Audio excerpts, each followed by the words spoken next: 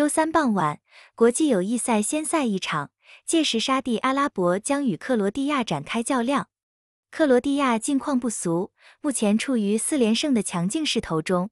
面对近期和多赢少的沙地阿拉伯，克罗地亚值得看高一线。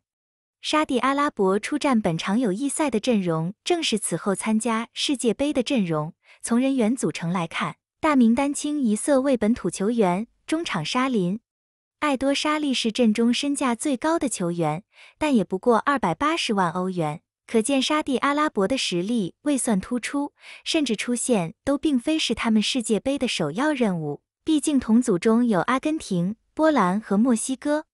沙地阿拉伯正处于不败之中，过去七仗录得二胜五和的战绩。而另外需要指出的是，沙地阿拉伯期间的对手除美国外，其余六队都没能跻身卡塔尔世界杯，此般不败的含金量显然不足。金铺面对欧洲劲旅克罗地亚，沙地阿拉伯凶多吉少。在此前的欧国联中，克罗地亚以极其出色的成绩收官，在拥有法国。奥地利和丹麦的联赛 A 组当中的 A 组，克罗地亚录得四胜一和一负的战绩，并顺利出现，取得参加准决赛的机会。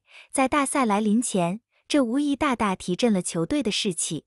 卢卡·莫特利依然是克罗地亚的领军人物。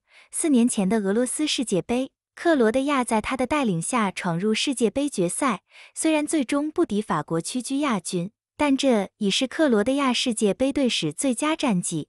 尽管如今已年满三十七岁，但他在球会和国家队仍然有上佳表现，依然是主帅达利最信赖的核心。此番面对实力不如自己的沙地阿拉伯，克罗地亚是要以胜利姿态迎接世界杯。